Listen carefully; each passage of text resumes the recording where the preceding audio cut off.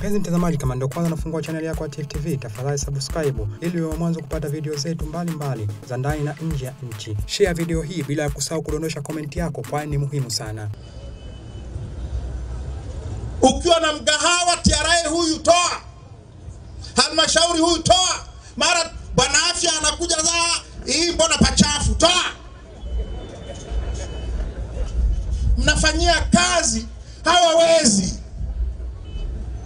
Ukiwa mtumishi wa serikali, uwe askari uwe nani, unapolipwa mshahara, wewe askari, bwana afisa, nimekuona mahali, bwana afande akipewa mshahara huyu umekatwa ile kitu inaitwa pay as you earn, au hauna kosea afande, wanakukata. Eh, kuna kingine wanakukata, alafu anakuambia kuna ukifa tuta- tutakuzikaje? Tutakukata mchango wa kujizika eh, na tutakukata na ya uniform, na ukistaafu utakumbana na kikokotoo.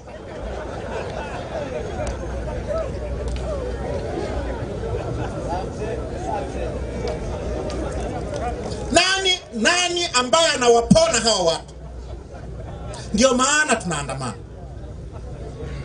ndio maana tunafanya nini? Hizi shida ndizo zinazotufanya tuandamane. Sasa sasa, naomba nisi nielekee kufunga hoja yangu. Kwa nini kwa nini tunasema katiba mpya?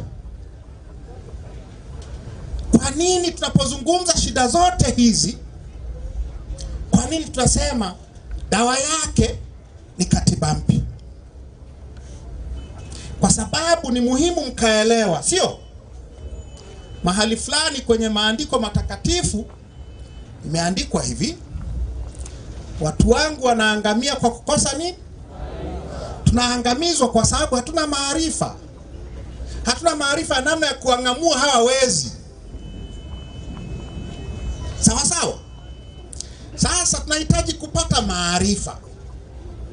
Kwa nini tunapozungumza matatizo yote haya tunazungumza tunasema katiba? Nimemsikia rais mwenyewe akisema katiba ni kitabu tu. Kumbuka yeye ni rais kwa sababu ya katiba.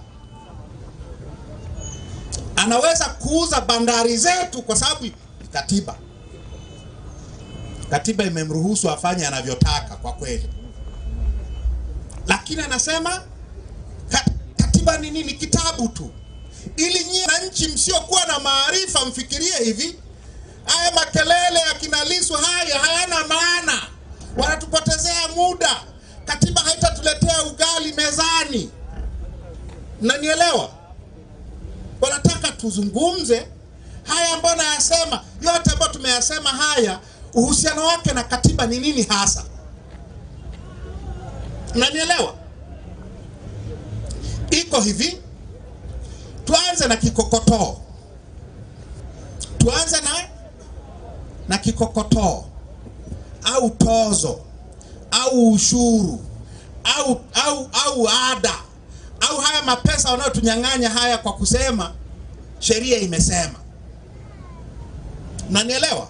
Tuanzie hapo. Hiyo hii kikokotoo ina uhusiano gani na katiba? Hizi tozo, huu wiziwizi huu. Sasa katiba yetu ya sasa inasema hivi katiba yetu ya sasa inasema hakuna muswada wa fedha. Muswada ni ile habari kabla haijawa sheria, wanatengeneza maandiko, wanatengeneza rasimu, wanapeleka bungeni. Ikipelekwa bungeni inaitwa muswada, muswada wa sheria. Ikishapitishwa na bunge inakuwa ni sheria.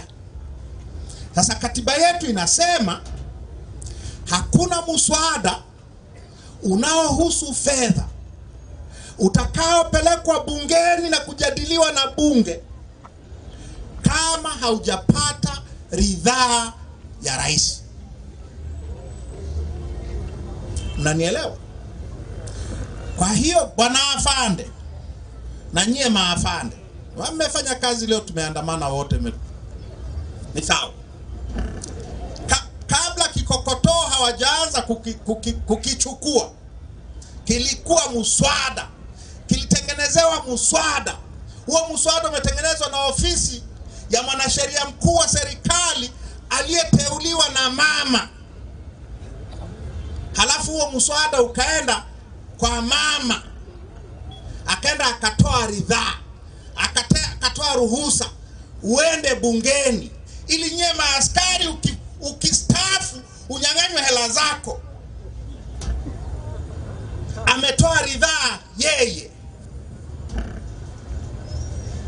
Ukienda bungeni ukapitishwa na hawa wabunge wao hawa, hauanzi kunyang'anywa kikokotoo bila kumrudia kwanza rais.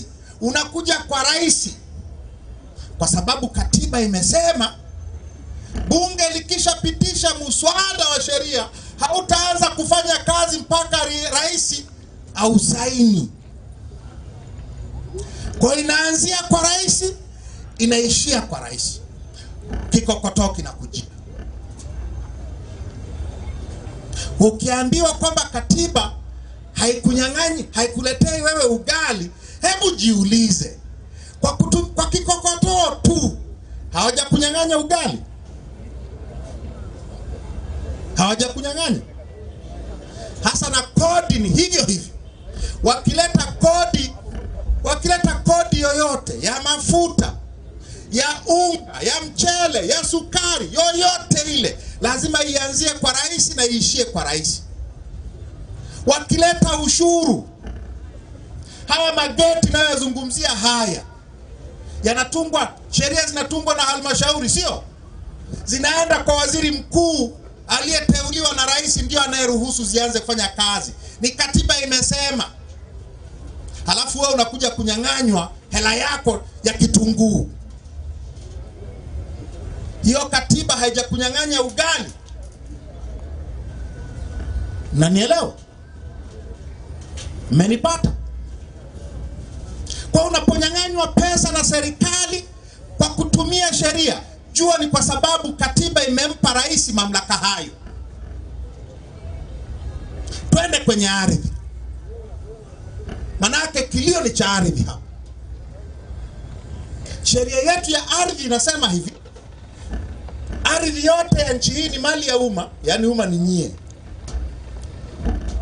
lakini chini ya, uri, ya udhamini wa rais. Hayo maneno ardhi ni mali ya umma yana lengo la kuwaaminisha nyie kwamba mna ardhi.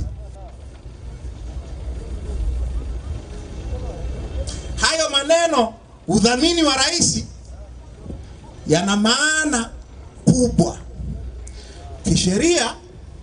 Mdhamini wa mali ana mamlaka ya kuigawa hiyo mali, kuiuza, kuikodisha, kuitoa zawadi, kuifanya anavyotaka.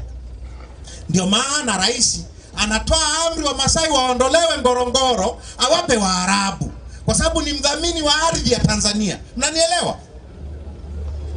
Hawa watu wanakuja kunyang'anya watu ma, kwenye machimbo hapa Shanta popote wanakonyanganya watu kwa sababu ya, ya machimbo ya madini. Sheria yetu ya madini inasemaje? Madini yote ya nchi hii ni mali ya umma, yani ya, ya kwetu, lakini chini ya udhamini wa nani? Wa rais. Kwa rais ana uwezo wa kugawa madini anavyotaka. Ndio maana amewapa wazungu madini yetu yote. Sheria yetu ya wanyamapori inasema hivi, wanyamapori wote ni mali ya umma chini ya udhamini wa nani? Wa rais. Ndio maana wanahamisha wanyama wote, wanapeleka Uarabuni, kwa sababu rais ndio mwenye kauli ya, na hayo ni kwa sababu ya katiba.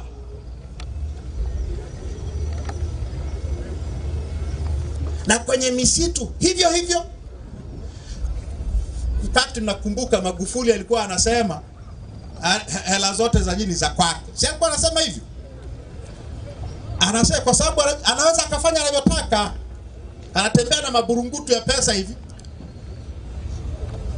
kwa sababu kwa katiba ya nchi hii anaweza akafanya chochote, na wanafanya mambo mabaya na mamlaka haya walionayo kikatiba. Kwa tunaposema tunaposema kwamba shida hizi dawa yake ni, kat, ni katiba mpya, tuna maana hiyo, tuna maana kwamba tubadilishe hii katiba, tulete utaratibu tofauti. Rais asiwe Mungu katika nchi. Magufuli alimpa yule mwalimu wangu wa sheria Profesa Kabudi alimpa uwaziri. Tumekuwa na mawaziri tangu miaka ya Nyerere. Kabudi limepewa uwaziri, anamshukuru rais, anasema mheshimiwa Mungu, umenitoa jalalani.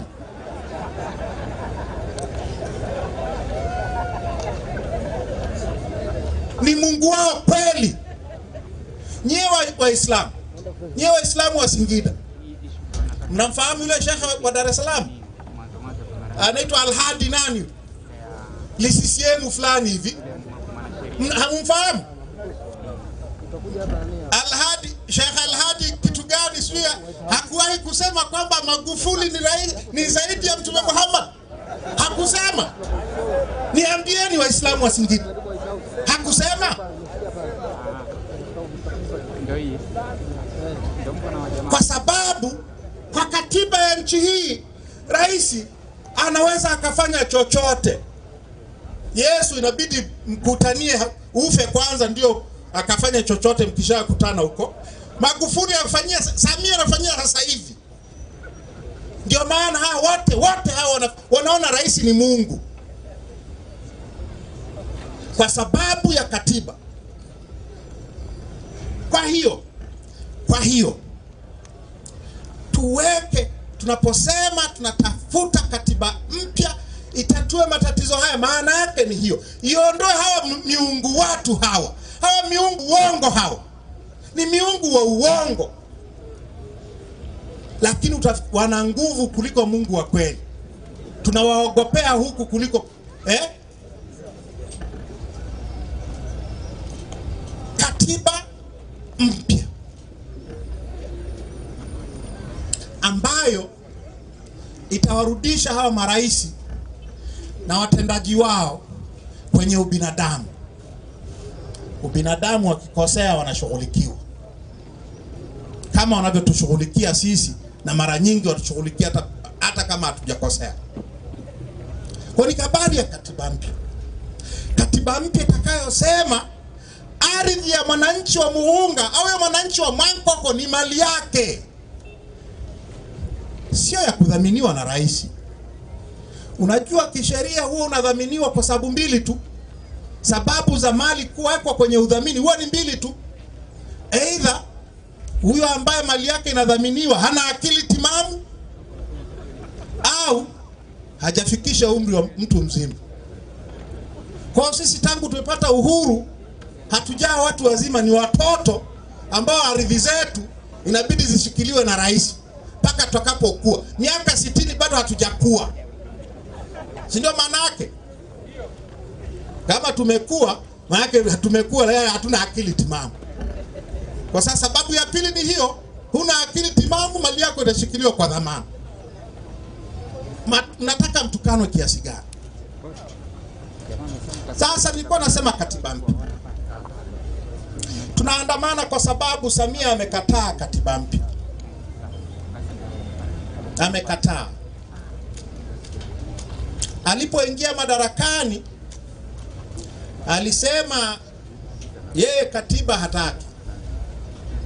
Tukavutana vutana pale, kamtengenezea mwenyekiti wetu kesi ya uhaini, ikamshinda mahali, akamwachia, akasema sasa nataka tuje tupendane, maridhiano, si nakumbuka?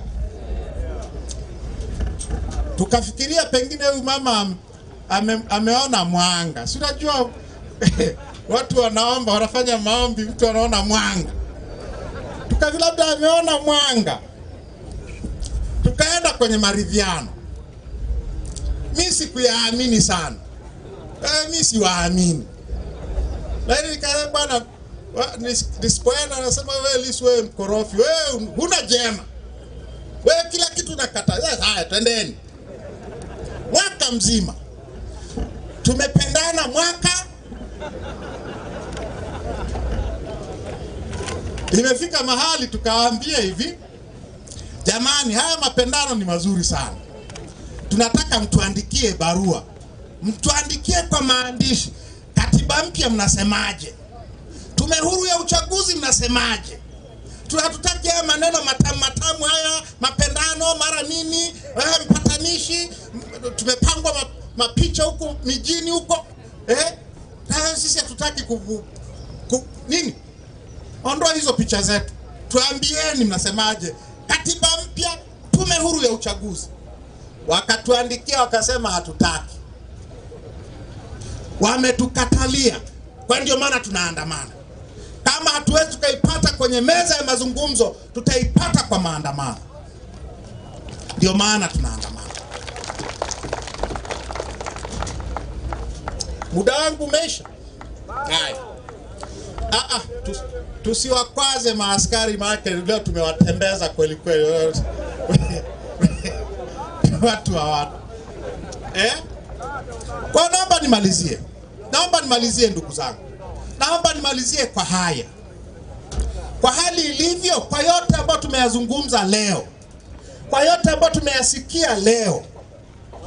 Ukinyamaza manake unanyamazia kifo ukinyamaza manake unanyamazia maafa. Maafa ya kwako mwenyewe maafa ya wanao. Hatupaswi kunyamaza tena. Na hawa watu hawaelewi chochote wataelewa maandamano. Kwa sababu tukiandamana inakuwa kero mji mzima. Leo imebidi mkuu wa mkoa na, na serikali nzima ya mkoa wahamie pale viwanja vya bombadie eh, ili kutengeneza tengeneza maarifa watu wetu wasie, wasije kwenye maandamano wanahangaika ni kero tuongeze kero Tifu TV inakupatia video mbalimbali mbali kutoka ndani na nje ya nchi. Tafadhali endelea kutufuatilia kupitia chaneli yetu ya Tifu TV, YouTube, Facebook, Twitter na Instagram, bila kusahau kudondosha komenti yako, kwani ni muhimu sana. Tifu TV tupo kijamii zaidi.